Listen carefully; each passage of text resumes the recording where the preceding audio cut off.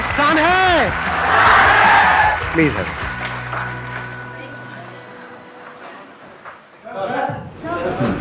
उनको देना mike thank you so much sir like मेरा जो क्वेश्चन है इसकी लाइक like, हम मोटिवेट होते सपोज़ आपकी वीडियोस देखी या किसी की भी किसी से भी मोटिवेट हुआ इंसान then like we plan we plan big but जब एग्जीक्यूट करने की बारी आती है आई I मीन mean, हम ऐसी कौन सी स्ट्रैटेजीज फॉलो करें? Basically that I want to know कि जिससे कि मतलब लाइक like, हमें कॉन्फिडेंस बिल्डअप होना शुरू हो जाए लाइक like, कि हम now our planning is being successful ये जो आपका क्वेश्चन है ना इसकी तीन लेयर्स है। एक है बॉडी एक है इंटेलेक्ट एक है इमोशंस तीनों लेवल पे हमको काम करना होगा, तब जाकर के एक्चुअल में एनर्जी बनी रहेगी। इसको आप ऐसे देख सकते हो कि मतलब एक टेबल है, उसके तीन पैर हैं। जैसे यहाँ पे टेबल है इसके तीन पैर हैं। नहीं दिख रही, कोई बात नहीं। अब देखना क्या है। सॉरी टेबल नहीं देखी कभी।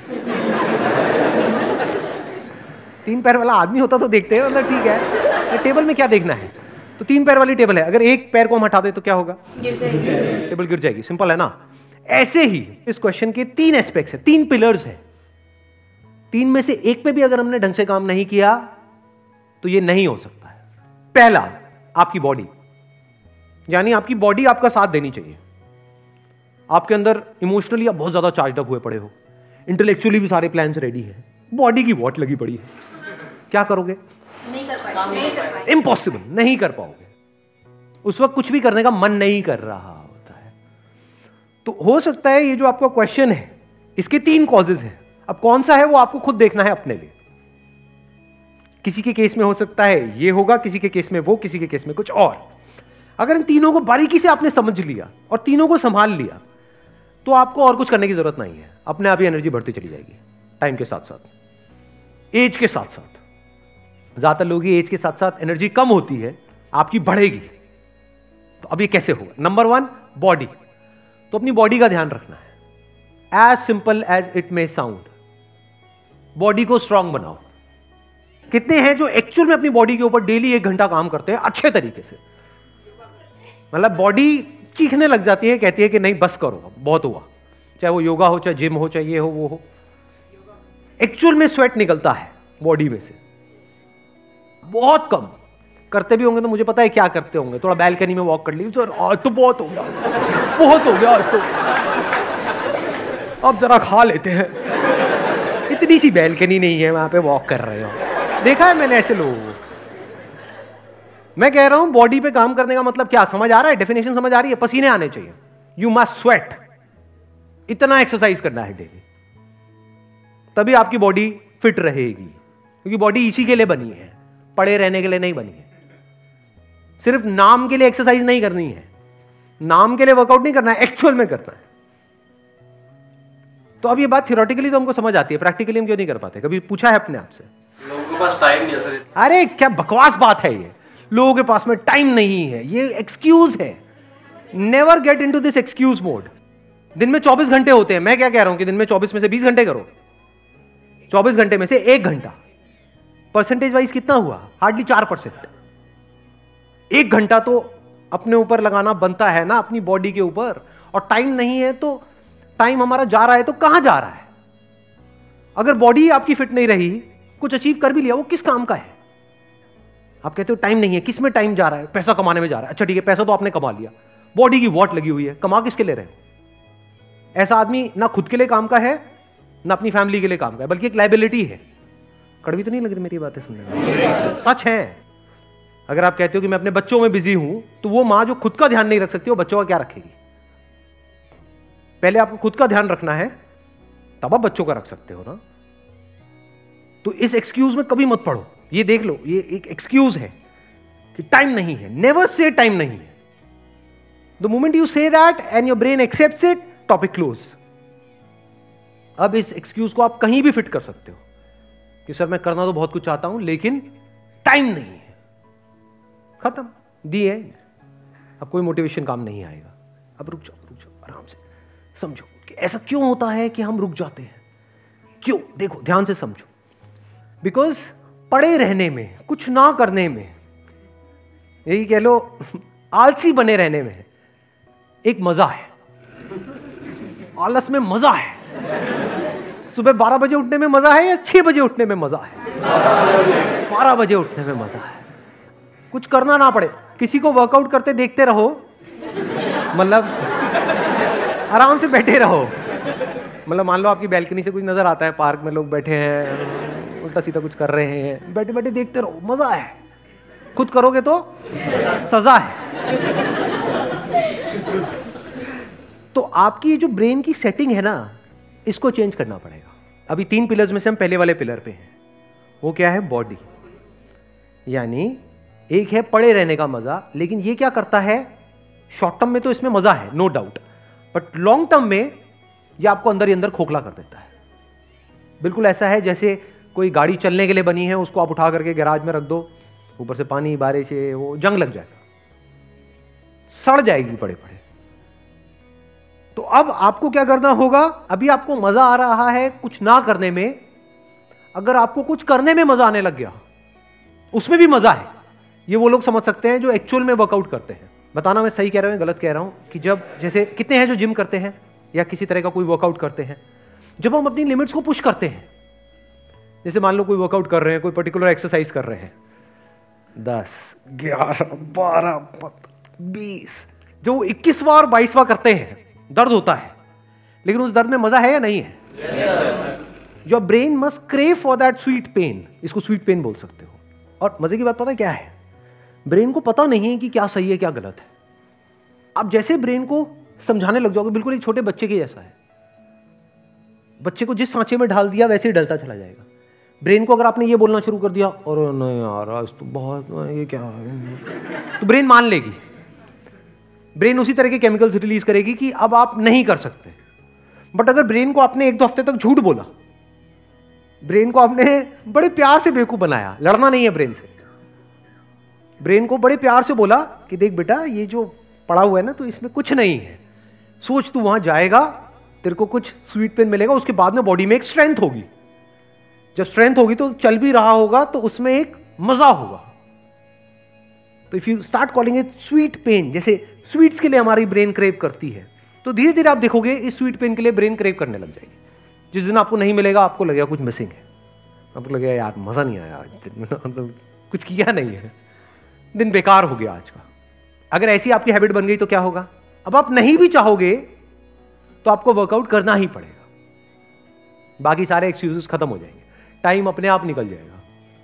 आप क्या गड़बड़ करते हो? आप बॉडी और माइंड को अलग अलग समझते हो। ये अलग अलग नहीं है। जो बॉडी फिट होती है तो माइंड अपने आप ही पीसफुल हो जाता है। Number one body number two intellect and number three is emotions पहले इंटेलेक्ट को देखते हैं। इंटेलेक्ट से क्या होता है?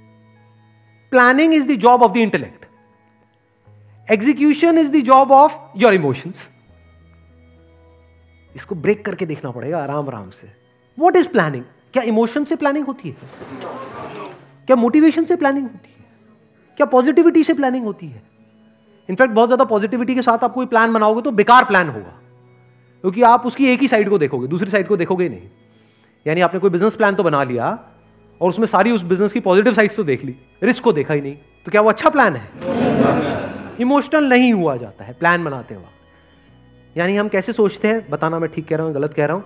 जैसे हम कुछ करने के बारे में सोचते हैं तो वहाँ पर हम कुछ ऐसी चीज़ों को उससे कनेक्ट कर देते हैं, जिसका दूर दूर तक उस प्लान से कोई कनेक्शन ही नहीं है। फॉर एग्ज़ाम्पल मैं करना तो चाहता हूँ, लेकिन मेरे को सब डिमोटिवेट करते रहते हैं। ये कौन सी ब्रेन आपकी एक्टिवेट हुई पड़ी है? इमोशनल ब्रेन या प्रैक्टिकल ब्रेन इमोशनल ब्रेन अभी इस स्टेज में, ये जो सेकंड स्टेप है, यहाँ पे आपको इमोशंस को बीच में इंटरफेयर नहीं करने देना है। पूरी तरह से आप क्या कहोगे बिल्कुल अनबायस्ड होकर के चीज़ों को देखना है। ऐसे देखना है जैसे आप अपने लिए नहीं अपने किसी दोस्त के लिए प्लान बना रहे हो। चाहे आपका दोस्त है उसकी लाइफ में कितनी भी बड़ी प्रॉब्लम हो रही है। क्या एक्चुअल में आपको प्रॉब्लम होती है? No. बाहर से दिखाते हो क्योंकि नहीं दिखाओगे तो दोस्ती खत्म हो जाएगी। अंदर से आपको क्या फ़र्क पड़ता है? ब्रेकअप हो गया आपको तो अपनी दारू की पड़ी है। ठीक कह रहा हूँ गलत कह रहा हूँ? तो इसका मतलब क्या हुआ? हमें एक्चुअल में फ़र्क नहीं पड़ता है कि मेरा ये जो दोस्त है, उसके साथ में क्या हो रहा है। ये सब सच है, झूठ है? तो ऐसे बनाओ अपना प्लान सच को देखो और ऐसे बनाओ अपना प्लान तो पहला स्टेप हेल्थ दूसरा स्टेप प्लान तीसरा स्टेप एग्जीक्यूशन एग्जीक्यूशन के लिए आपको चाहिए एनर्जी एनर्जी आती है इमोशंस से। इमोशंस को अगर आप ब्रेक करके देखोगे तो इमोशंस मतलब energy in motion that is an emotion without emotions there is no energy आपकी जो इमोशनल साइड है ना, या जो इमोशनल ब्रेन है, वहाँ पे लॉजिक काम नहीं करता है। लॉजिकली आपको जितना मर्ज़ी पता हो कि ये करना गलत है, लेकिन जब इमोशंस आपके ऊपर हावी होते हैं तो अपने आप ही हाथ वहाँ पर चले जाते हैं, या आप वहाँ पर खींचे चले जाते हो। ऐसा होता है? नहीं होता है। तो आपकी लाइफ को एक्चुअल में इमोशंस कंट्रोल कर रहे हैं। इमोशंस बेसिकली क्या है? अगर सिंपल वे में देखा जाए ब्रेन में कुछ केमिकल्स रिलीज़ होते हैं कुछ करके जिसमें आपको अच्छा फील होता है। तो these emotions have got a biological basis इसकी जो फाउंडेशन है वो बायोलॉजी है। इसलिए इतने स्ट्रांग है। इमोशंस को इससे फ़र्क नहीं पड़ता है कि आपका प्लान क्या है, आपका गोल क्या है, आप क्या चाहते हो। इमोशंस को जो करना है वो करेंगे। कैसे करते हैं? जैसी आते पड़ी होती on the basis of like and dislike मुझे क्या पसंद है? क्या नहीं है? अभी पसंद क्यों है? क्योंकि वो करने से कुछ अंदर रिलीज़ होता है। वो पसंद है। कोई भी बंदे को किसी भी तरह का एडिक्शन है, वो क्यों है? क्या उस चीज़ से एडिक्शन है? क्या दारू से एडिक्शन है? क्या नशे से एडिक्शन है? ना। उसकी वजह से जो अंदर होता है, उससे एडिक्शन है। And that person wants to repeat it again and again इसको इमोशंस बोलते हैं। यहीं से एक्चुअल में एनर्जी मिलती है। तो अब ध्यान से समझना, अब इसका क्या सोल्यूशन है? अब ये इसको हम कैसे कंट्रोल करें? इसको बिल्कुल अपनी जो इमोशनल ब्रेन है ना, एक बच्चे की तरह देखो। छोटा सा बच्चा, जिसको कुछ नहीं समझ आता है। Logic comes from more and more of knowledge without knowledge there is no logic in life बच्चों की लाइफ में लॉजिक कहाँ होता है? कुछ भी तोड़ना है तो तोड़ ही देते हैं ना। वो करते वही है जो उनको करना है। कुछ देर के लिए डर करके बाहर से आपको दिखा देंगे। कि नहीं, हम आपकी बात मान रहे हैं। अंदर उनके कुछ और ही चल रहा होता है। ऐसी आपकी इमोशनल ब्रेन है। वो करेगी वही जो उसको करना है। तो वहाँ से कब छूट पाओगे? कब निकल पाओगे? जब कुछ और करो, जिसमें उससे ज़्यादा मज़ा आए। अब ये मज़ा कैसे आता है? ये कहानियाँ हैं जो आप अपने आप को सुनाते रहते हो सुबह से रात तक। इमोशंस और क्या है? कहानियाँ ही तो है। तो अपने आप को एक नई कहानी सुना दो। बच्चे को एक नई कहानी सुना दो। कभी ऑब्ज़र्व किया है बच्चों को कहानी के थ्रू कंट्रोल करना कितना आसान है? लॉजिक से कंट्रोल किया जा सकता है? ना। और ऐसे ही हम कंट्रोल करते हैं जाने अनजाने बच्चों को। कि बेटे वो वहाँ से बाबा आएगा। लंबी दाढ़ी वाला बाबा। कहा है वो बाबा? किसने देखा है? तो बच्चा वो कहानी को सच मान लेता है। और बच्चा फिर उस गेट से बाहर नहीं जाता है। तो आपको क्या करना है? इस इमोशनल ब्रेन को जो बिल्कुल एक बच्चे की तरह है उसको एक नई कहानी सुनानी है। जो अभी आपकी एग्जिस्टिंग कहानी है उससे बिल्कुल अलग है। कि बेटे, ये देख तू ये जो कर रहा है ना, तू कर ले, कोई बात नहीं। लड़ना नहीं है बिल्कुल भी। The moment you start fighting with your emotional brain तो वो आपकी धजियाँ उड़ा देंगे। मतलब इमोशन से लड़ करके आप ज़्यादा टाइम तक आगे नहीं बढ़ पाओगे लाइफ में। बिल्कुल ऐसा है जैसे नदी का बहाव बहुत तेज है इस तरफ़, और आप चौड़े में कह रहे हो कि मैं तो इधर जाऊँगा। चले जाओगे थोड़ी देर तक। उसके बाद में हाथ पैर सब जवाब दे देंगे आप कहेंगे बाढ़ में गया सब जा, जा रहे जाने हाँ, ऐसा होता है? नहीं होता है। बहाव बहुत तेज है। तो इस बहाव को समझना होगा। तो अब ध्यान से समझो अगर आप अलग तरह की कहानियाँ सुनाने लग जाओ अपने आप को और वो कहानी में क्या होना चाहिए? इमोशंस होने चाहिए। कहानियों में होते हैं डर होना चाहिए। Fear is an emotion very powerful emotion मतलब अभी जहाँ पर आपको मज़ा आ रहा है वहाँ पर डर लगना चाहिए। और जहाँ पर डर लग रहा है वहाँ पे मज़ा आना चाहिए। कहानी ऐसी होनी चाहिए। तो वो कहानी अगर बकवास भी होगी या झूठी भी होगी या मन घड़ंत भी होगी क्योंकि अभी भी जैसे आपकी लाइफ चल रही है वो कोई सच नहीं है कहानी। मन घड़ंती है। ऐसी अपनी कोई कहानियाँ बनाई हुई है। कि मैं ये कर नहीं सकता क्यों? क्योंकि बकवास है वो कहानी। क्योंकि बहुत सारे लोग हैं जो आपसे भी गई गुजरी सिचुएशन में है और पता नहीं क्या क्या कर रहे हैं। देख पा रहे हो ना इस सच को? अभी भी आपकी कहानियाँ हैं तो मन गढ़न थी तो एक नई कहानी बनाओ और अपने इस इमोशनल ब्रेन को बार बार वो कहानी सुनाओ। कि देख बेटा, अगर इन्हीं ऐसे ही पड़ा रहा तो आने वाले टाइम में ये होगा, फिर ये होगा। जा बेटा, एक बार हॉस्पिटल में देख करके क्या क्या हो रहा है लोगों के साथ। चले जाओ हॉस्पिटल में। दिखाओ अपनी इमोशनल ब्रेन को। देख बेटा, ऐसे होता है। ऐसे होता है। और ज़्यादा पुश करना है अपनी लिमिट्स को तो शमशान घाट में चले जाओ।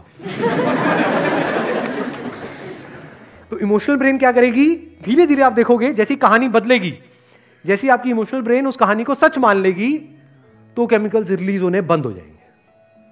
वहाँ कुछ और रिलीज़ होगा एकदम से। डर लगने लग जाएगा, यार, ये मैं क्या कर रहा हूँ? अगर ऐसी कहानी बना पाओ then you are super intelligent देखो, मैं तीनों को डिफाइन कर देता हूँ। बेवकूफ़ी क्या है? इंटेलिजेंस क्या है? और सुपर इंटेलिजेंस क्या है? बेवकूफ़ी क्या है कि जो कहानी जैसी बनी हुई है हमारी लाइफ की, उसके हिसाब से लाइफ चलती चली जाए। और वो कहानी बनी कैसे है? वो एडवर्टाइजिंग और मार्केटिंग की पूरी की पूरी दुनिया है। उन्होंने आपके माइंड में कुछ कहानियाँ बना दी है जो उनके लिए फ़ायदेमंद है। तो वो कहानी किसकी? दुनिया की। वो दुनिया की कहानी आपकी लाइफ को चला रही है। ये सफोकेटिंग होता है। Because you are not in control बिल्कुल ऐसा है जैसे आपकी लाइफ की बोट को कोई और चला रहा है। और आप जाना नहीं चाहते वहाँ पे, लेकिन वो जा रही है। ये हो गया सबसे बेवकूफों वाला तरीका लाइफ को जीने का। दूसरा तरीका, जो इससे बेटर है, वो क्या है कि आप एक नई कहानी बनाओ बेस्ड अपॉन कि क्या होने वाला है, जिसको ड्रीम्स बोलते हैं। कि अगर मैं ये नहीं करके ये करता हूँ तो आने वाले दो साल बाद, पाँच साल बाद ये हो जाएगा। ये उससे बेटर है, लेकिन स्टिल इतनी बढ़िया कहानी नहीं है। क्योंकि ये ज़रूरी नहीं है कि प्रैक्टिकल हो। एक तीसरी कहानी है, जो बड़ी कमाल की है।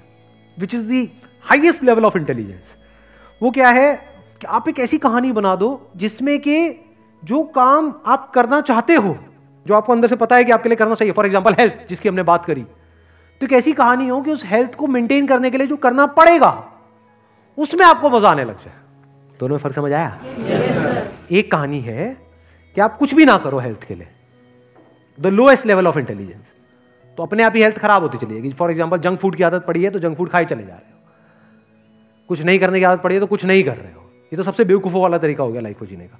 दूसरा तरीका क्या है? जैसे ज़्यादातर लोग करते हैं कि शीशे में देखते हो अच्छा नहीं लगता है, बुरा फील होता है तो अब आपने एक पोस्टर लगा दिया उस शीशे के सामने, किसी और का। क्या मुझे ऐसी बॉडी चाहिए अगले एक साल के अंदर अंदर? समझ गए? कि उससे बेटर है, क्योंकि थोड़ी बहुत मोटिवेशन मिलेगी, लेकिन इतना समझदारों वाली कहानी नहीं है, क्योंकि वो प्रैक्टिकल नहीं है। क्योंकि जैसे ही आप दो तीन महीने कुछ करोगे और रिज़ल्ट नहीं आएगा तो छोड़ दोगे डीमोटिवेट हो जाओगे। या ये कह लो ज़बरदस्ती अपने आप को पुश करना बल्कि देखना कुछ इंटरेस्टिंग है। बल्कि ज़बरदस्ती अपने आप को पुश करना पड़ेगा यानी कि लड़ना पड़ेगा अपनी इमोशनल ब्रेन से। इस केस में लड़ना पड़ेगा नहीं लड़ना पड़ेगा? क्योंकि इमोशनल ब्रेन को ये तो चाहिए जो दो साल बाद होने वाला है। लेकिन दो साल तक जो करना पड़ेगा डेली एक घंटा वो नहीं चाहिए। तो इमोशनल ब्रेन से आप लड़ ही नहीं सकते। इमोशनल ब्रेन बार बार उसको छोड़ करके एक हफ़्ता, दस दिन, पंद्रह दिन, महीना मैक्सिमम आप जिम गए भी, फिर छोड़ करके वापस वहीं आ जाओगे काउच के ऊपर। क्यों? क्योंकि वहाँ पे मज़ा ज़्यादा आ रहा है। समझ गए ना? बच्चा वहीं आ जाएगा जो बच्चा चाहता है। क्योंकि बच्चा क्या कहेगा? दो साल बाद क्या होने वाला है? वो समझता ही नहीं है बच्चा तो। बच्चे को इसकी थोड़ी पड़ी है, दो साल बाद क्या होने वाला है? बच्चे को तो अभी मेरे को दर्द हो रहा है, मेरे को नहीं चाहिए। मेरे को नहीं करना। मतलब ये लड़ाई हो गई। भयानक लड़ाई।